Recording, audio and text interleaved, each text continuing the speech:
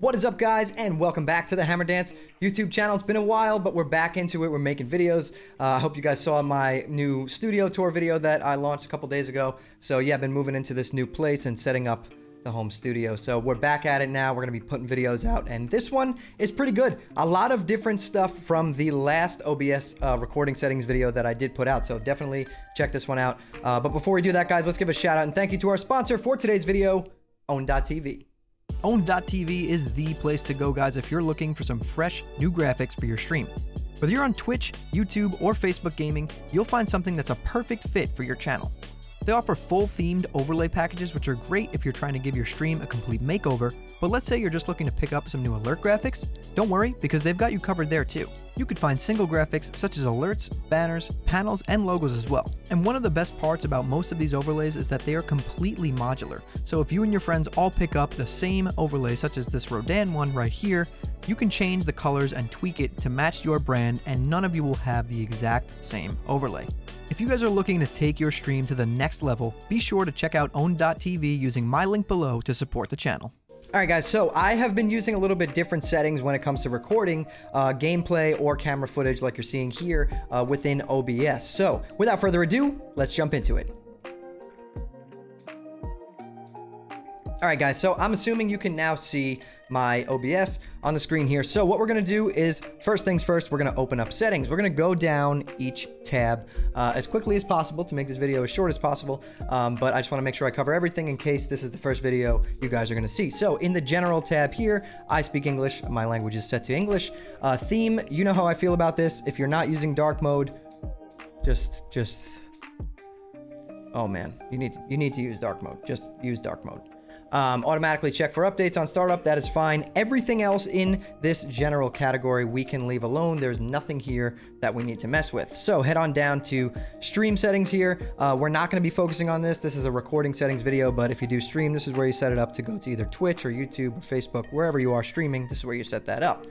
Next tab we're gonna be taking a look at here is the output tab. Um, again, in the output tab, head over to recording.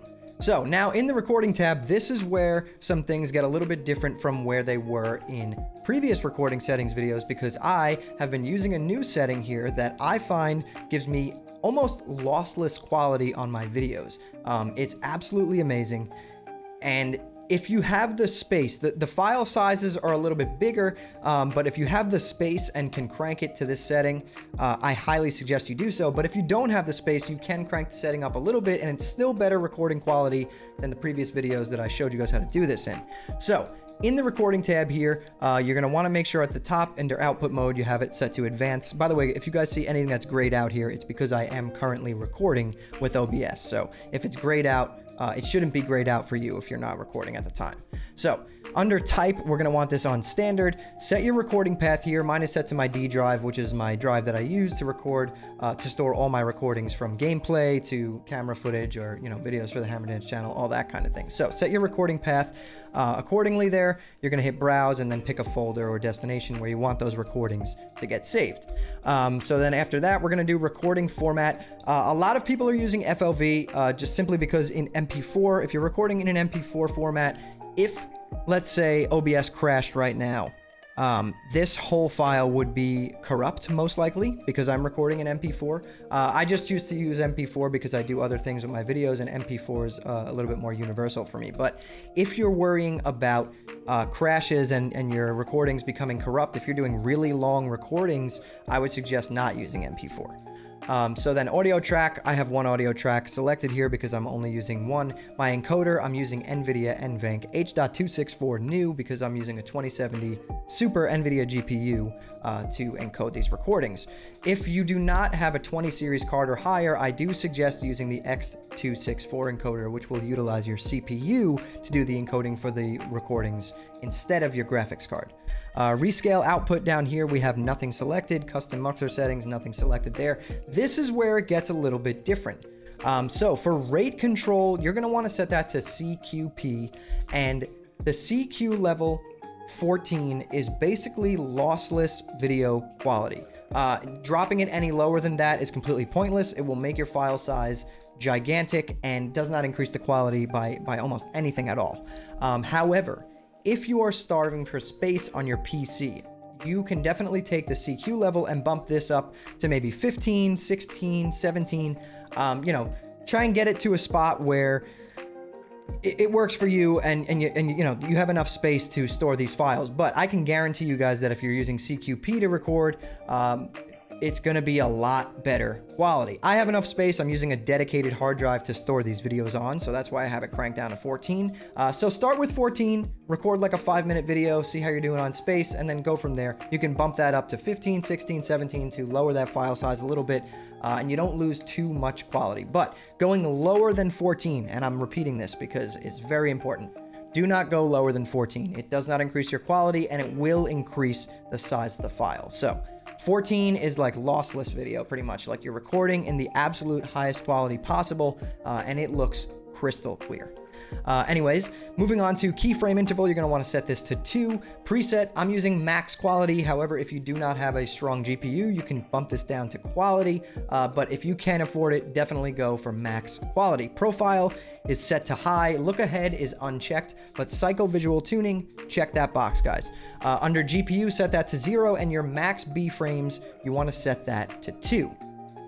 Um, but yeah, so that's the recording settings there. I'll just plow through the rest of this real quick if anyone's trying to set this up, you know, to the fullest extent from this video. Under audio, you're going to want to have this set to 48 kilohertz, channels, stereo, and whatever devices you have here. I'm using one device here because I use a GoXLR for my microphone, my audio, everything combined is down into one channel. However, if you do not have a GoXLR, you're going to want to set your desktop audio to default set your microphone here, whatever microphone you have, um, and you guys should be good from there. Everything else in this category of audio, don't even worry about it. Drop down to video. This is where you're gonna set the resolution of your videos. So for me, I'm recording uh, videos and gameplay in 1920 by 1080 at 60 frames. So my base canvas resolution, this is the resolution at which you're playing games at, uh, the resolution of your monitor. I use a 1080p 240 hertz monitor. So for me, it's 1920 by 1080.